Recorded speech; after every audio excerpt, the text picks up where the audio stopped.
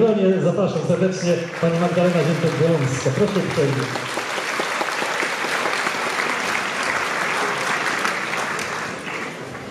Cieszę się, że mogę przed Państwem tutaj stać na mojej rodzinnej dolnośląskiej ziemi. Jako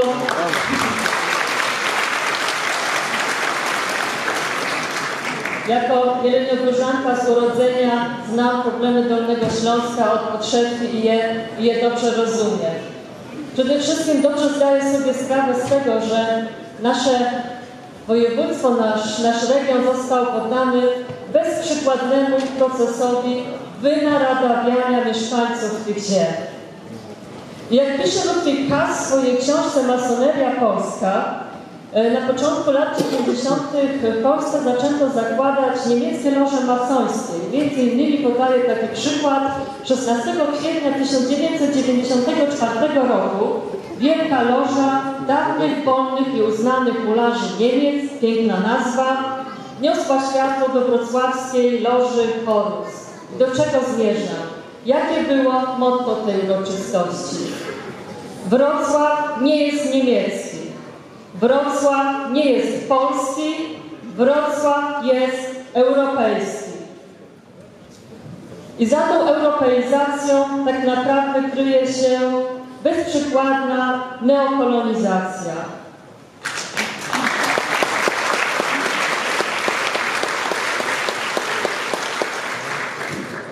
Przy drodze z Wrocławia do mojej rodzinnej Jeleniej Góry znajduje się niemiecka fabryka należąca do firmy Dr. Schneider Automotive. Przed tą fabryką powiewa niemiecka flaga, dla niepoznaki powieszona między Polską i Europejską, unijną. Jak czytamy na stronie tej firmy, jest to największy zakład produkcyjny należący do tej firmy, nawet większy niż w Chinach. Jednocześnie z mojej rodzinnej Jeleniej się już nawet dojechać autobusem do pobliskiej Bogatyni, której także mam rodzinę. A jeszcze sama pamiętam, jak w czasach PRL-u z Bogatyni można było bezpośrednio pociągiem, kuszetką dojechać do Warszawy, a w tej chwili do Bogatyni pociągi nie dojeżdżają, a stacja kolejowa jest zamknięta na cztery spusty. Jednocześnie często słyszę takie głosy, że ale Polacy prze, przemieszczają się na drugą stronę Odry, tam kupują mieszkania, tam zakładają rodziny i tak naprawdę to my skolonizujemy Niemcy, tak naprawdę to my tam ten teren zasiedlimy. Moim zdaniem radość jest przedwczesna, gdyż bardzo często dzieci tych Polaków tak naprawdę są zgermanizowane.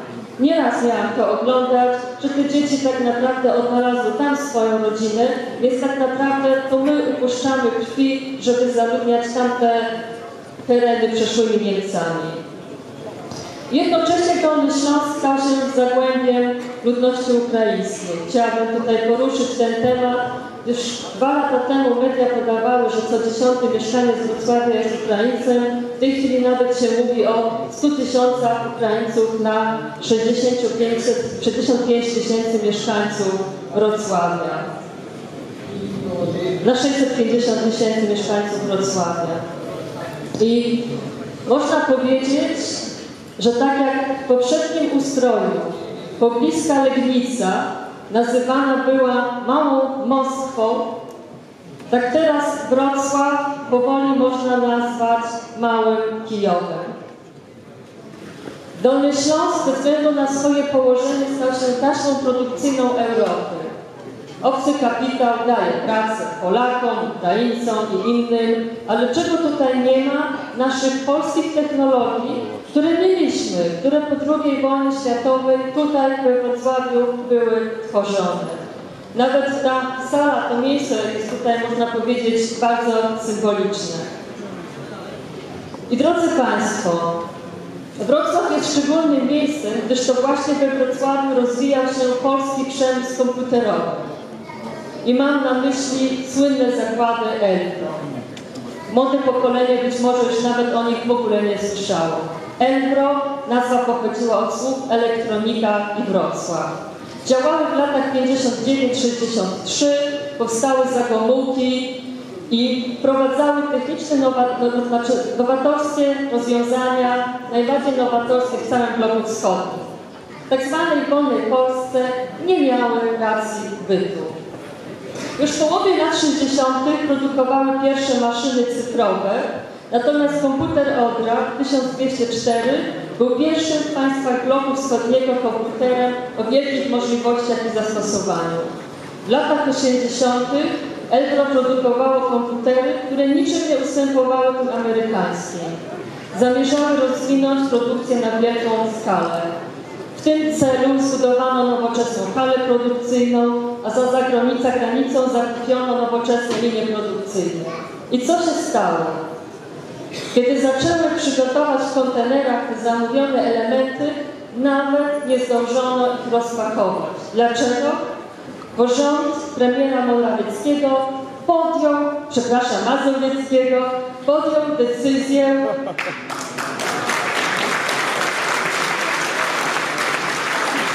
Można powiedzieć ta sama grupa, tylko nazwiska się zmieniają, więc tak naprawdę nie mają znaczenia. Co jest stałe?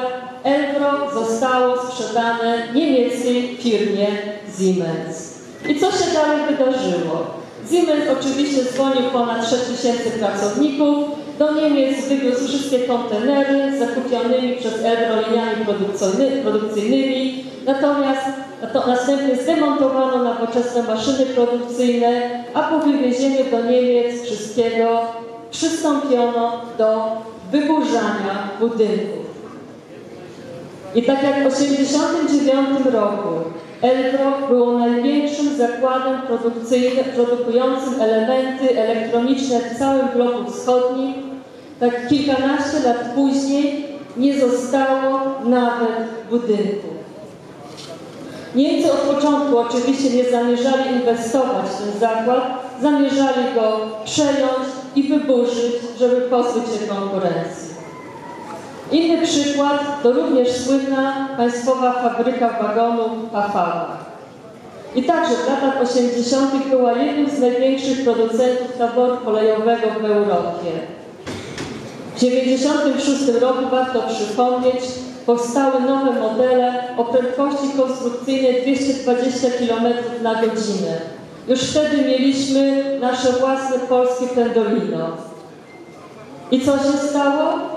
W tym czasie niemiecki gigant Adrian znalazł się w poważnych tarapatach finansowych i Pachawak Niemcom sprzedano. Najnowocześniejsze modele wywieziono za granicę kraju, a Polska przestała produkować lokomotywy. Kilkanaście lat później Adrian został przejęty przez kanadyjskiego bombardiera.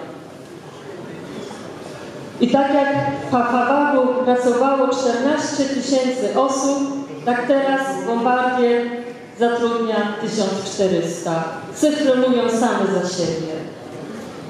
Pafawak jest jeszcze o tyle interesujący, że to jest, że jest historia mieszkań pracowniczych, o czym się już w tej chwili kompletnie nie mówi.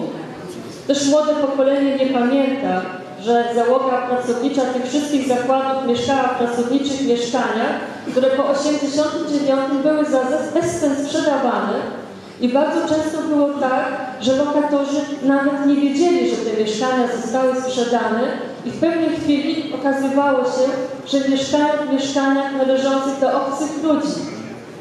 I co się pojawiało? Oczywiście nakazy eksmisji, wyrzucanie ludzi na bruk. Sprzedawano mieszkania bez żadnej ochrony lokatorów. Kto o tym mówi, kto się tym przejmuje?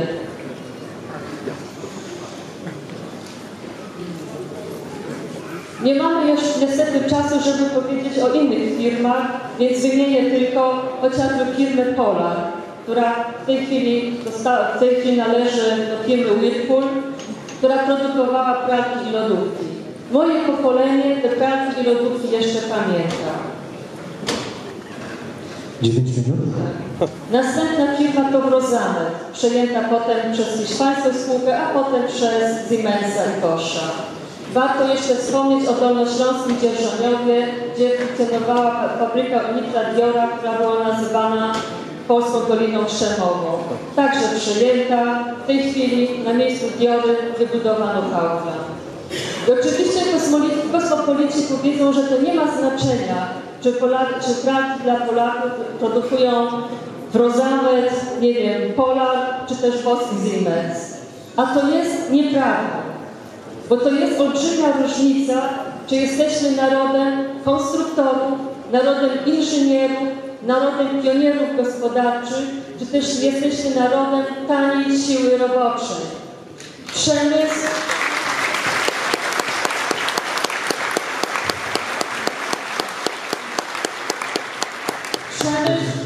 i gospodarka są przedmiotem dumy narodowej i poczucia swojej wartości, której nas pozbawiono.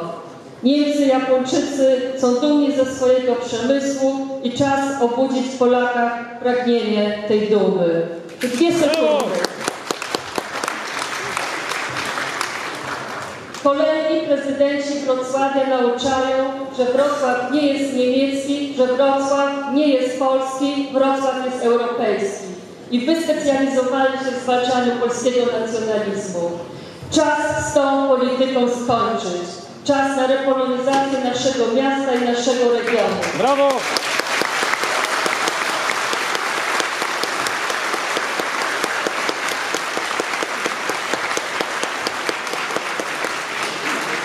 Gdy nam mówią, że Wrocław jest europejski, to co im odpowiemy? Wrocław jest Polski. Krzyknijcie razem ze mną. Wrocław jest Polski! Wrocław jest, Polski! Wrocław jest. Polski! Dziękuję. Dziękujemy pięknie. Dziękuję uprzejmie.